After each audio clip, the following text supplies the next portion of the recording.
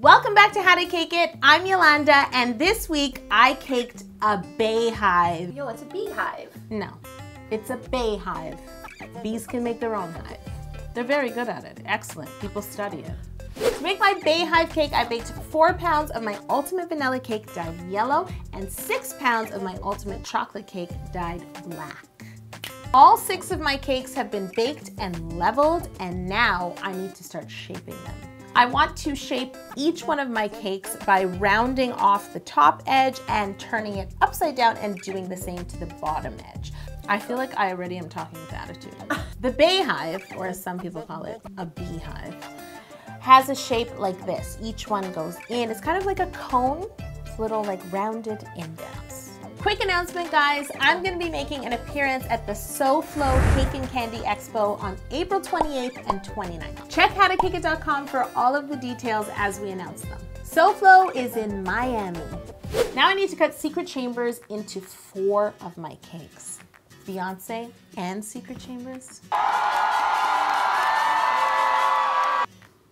I'm done. I'm done, that's it. I'm actually gonna keep the largest circle of cake that I cut out from my biggest cake and create a seventh tier because Yolanda just likes that number. I just treat it like a tiny little cake and carve it in the same way as the others.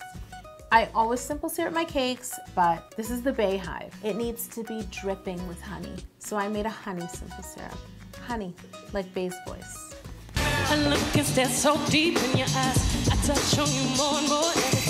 To make honey simple syrup, I simply pour one and a half cups of water, one cup of sugar, and half a cup of honey into a pot and bring it to a rolling boil. Then I strain my syrup into a bowl and once it's cooled completely, I actually like to strain it one more time. There's often some honey froth at the top, if you will.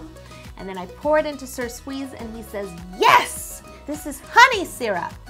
You can use this honey simple syrup on any flavor of cake that you like, just for a little extra something. With the help of Sir Squeeze, I shower all seven of my cakes with my honey simple syrup and allow it to soak in. Okay. We can't give Beyonce any dry cake. I don't have time for that. It is time to crumb coat and chill all seven of my layers of cake. You wanna make sure to crumb coat even inside the secret chamber. This way you get less crumbs on your beautiful surprise inside. Oh my God, I don't know what just happened to me. I just got super excited that we're going on a road trip to see Beyonce. I know. Dear Beyonce, I forgive you for not coming to Toronto. Kind of. There's just a lot of us here. We're buzzing. That's why I made the hive. So we could all just like get in it. Now it's time to ice each one of my layers. And for that, I'm using my invention. I actually feel really bad about withholding information about my invention, so I'm gonna tell you how I made it. I take a piece of acetate and I cut it into a square. That's incredible, yo. I know. That's buzzing. That's buzzing. I use it just like a bench scraper, but it's like a curved bench scraper. So I turn the Lazy Susan and that bend helps keep my cakes nice and curved. Guys, I need help coming up with a name for my invention. So leave a hashtag below with your idea and use the hashtag Yo's Invention. And I don't need you to tell me I really didn't invent it. This is called sarcasm.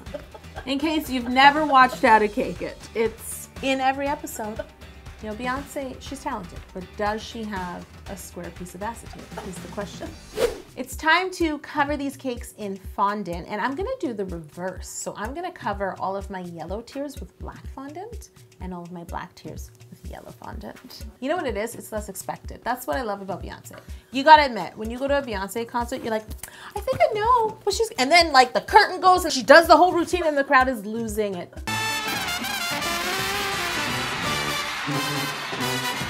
Just like losing it. So I surprised you. I know what you thought. You thought I was gonna cover the black cakes black and the yellow cakes yellow. No. Mm-mm. It's like dropping an album. This is my version of dropping an album. Yo, I think that's a bit of a stretch. It is. Boom! All of the cakes with a secret chamber, I used the same circle cutter to remove the fondant from the top of the secret chamber. Opposite fondant. I bet you it's trending on Twitter. Hold on.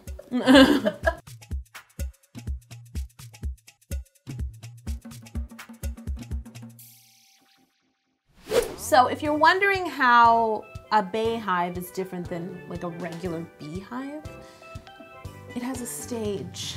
I need to make a secret chamber board. Oh, wow. I see, that's dropping an album. Yep. That's buzzing. That's another one. So I cut a hole out of the center of my board and then I covered my board in yellow fondant, the same fondant as some of my tiers.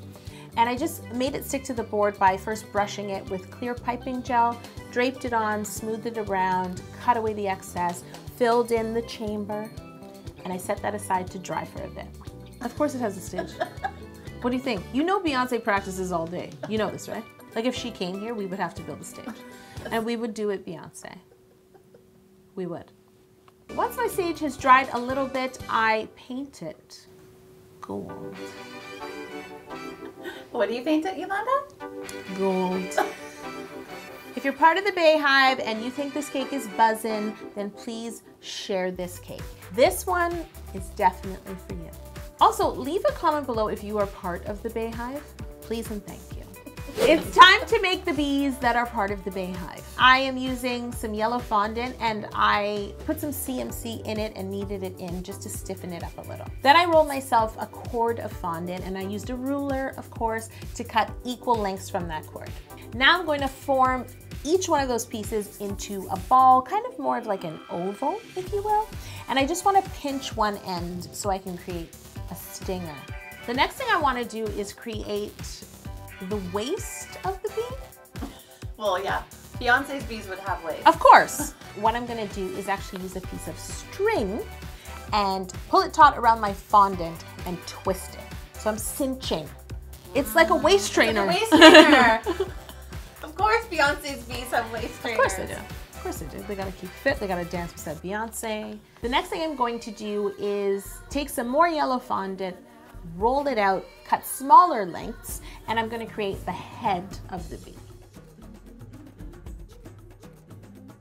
This is the winning Cake Tea Club tea that you guys chose out of our three designs. It's available exclusively for Cake Tea Club and Deluxe Cake Tea Club members who also get free gifts every month and a postcard from me. Sign up at howtocakeit.com. Now all my bees are in formation.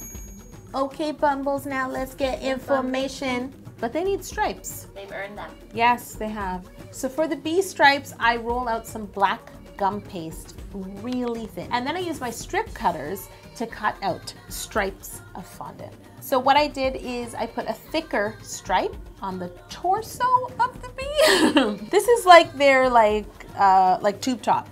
Yes. And then on the bottom, I put two thinner stripes and I glued them on with clear piping gel and then I just wrapped it around to the bottom of the bee and to make my life easier I used manicure scissors to trim them.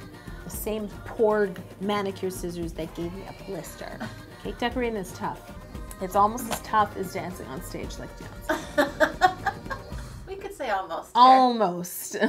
For the wings, I rolled out some white gum paste thin, and then I actually used uh, a calyx cutter, cut out a bunch of them, and then individually cut out each petal. And then I held each one in my hand and inserted a very thin floral wire so that the bees could be buzzing. Look, this bee is feisty. Now she's relaxed. Beyonce's singing a ballad, right? So she's just like, but then when it's time to get in formation, she's like, I'm on it. All the single bubbles, all the single bubbles, all the single bubbles. To get back to the bees, I have to draw their little faces on with a food coloring marker. I made different faces. So this is the bee that's always singing at the concert. This bee is crying because she is so happy she's at a Beyonce concert. This bee is upset because this is the bee that sits behind me at a Beyonce concert and gets like all this hair in her face. This is the bee who like won't stop talking through the concert. I'm like, why are you here? I know. Like, go home and have this conversation. And then for the antenna, I actually use, these are called stamen. It's just a tiny floral wire with like royal icing piped on the top and they come in different colors. And then, now that the wings have dried up a bit, I just brushed on a little bit of pearl glitter. Girls get dressed up at a Beyonce concert. It is not a joke. Remember when we went to the Beyonce concert and they were all in the plaid shirts and Oh, the yeah. jean shorts? Yeah. Like flawless? Yeah. And all those shirts flawless. Yeah. Like every, oh, wow. Yeah. It's a hive, people. It's a real hive. Of course, I made a queen bee, Beyonce. I made her in the same way as all the other bees, but she's larger, she's bolder, and she's wearing those extra wings because she's performing tonight. So she can fan them on stage. All the bumblebees! Cody, all the bumblebees. Now get your wings up. To make Beyonce's crown, I rolled out some yellow gum paste and I used a frill cutter that I have, cut out a strip, and then I just cut a piece of that strip and I wrapped it around a food coloring marker. I made sure to put some shortening on, wrapped it around, allowed it to dry, and then I had a crown. Oh, and make sure to paint her crown gold. Up in the hive, just woke up, doing my own little thing. To assemble this cake, the first thing I need to do is add a board to the bottom of it. So I need to take my largest bottom cake and flip it over carefully, and then I just cut a board to that exact same size. Now I'm going to glue that board in place with a little bit of royal icing. Before I start with this bottom tier, I need to cut a doorway, an entrance into the stadium, naturally. So I just used my small serrated knife and I cut a little open doorway. But the thing is, as I fill my cake and stack it with sprinkles, I don't want them all to just come out of the door. So I'm taking a ball of fondant and just blocking the doorway, okay? The concert doors are not open yet. I'm gonna fill my secret chambers with sprinkles as I build this cake up. The sprinkles that I'm using to fill this cake are this month's Sprinkle Service Medley. This month you get two sets of sprinkles, a bottle of our Cake Queen sprinkles, and then a two ounce emergency bag of Beyhive sprinkles. These are only available for Sprinkle Service members, so sign up at howtocakeit.com. I got sprinkles in my bag, swag. We should up. take these to the concert and throw them at Beyonce. Will we get kicked out of the concert? Starting with the bottom tier, I fill the secret chamber with Beyhive sprinkles. I use an offset spatula just to pat them down and make sure it's level with the cake. And then I spread a little bit of royal icing on the surface of the cake and add the next yellow tier. Repeat, royal icing, add the next black tier, fill the chamber, and now it's time for the stage.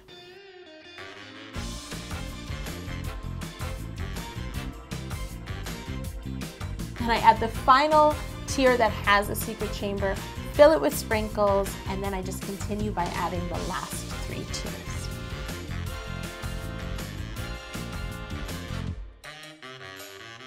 I wanted to make this cake look like it was just dripping honey, but it drips gold honey because it's a Beyhive.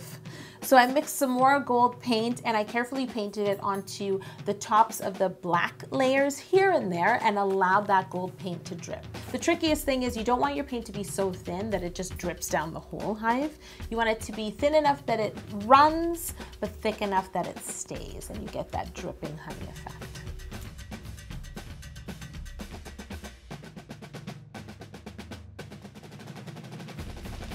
I need to make a quick frame for my doorway, so I just roll a cord of black fondant and I just wrap it around the doorway. But don't take the fondant out yet.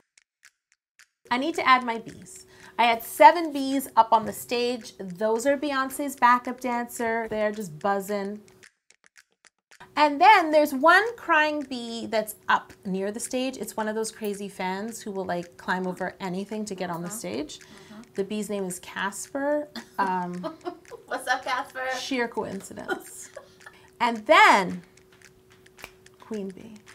I did use a toothpick and a little bit of piping gel just to secure the bees in place.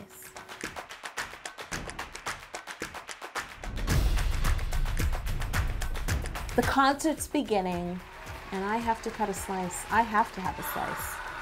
Yeah. Yes. Now, if you liked it, then you should have put a sting on it. If you liked it, then you should have put a sting on it. Don't be mad because you see that he's buzzing. Click here to watch my step-by-step pineapple cake and here to watch my toy cakes compilation. Cody, what is your favorite Beyonce song? Soldier. Oh, That's that's technically Destiny's Destiny's Child, Child, but, but it's that's all right. fine. That's It's all right. Jeremy would have not had an answer.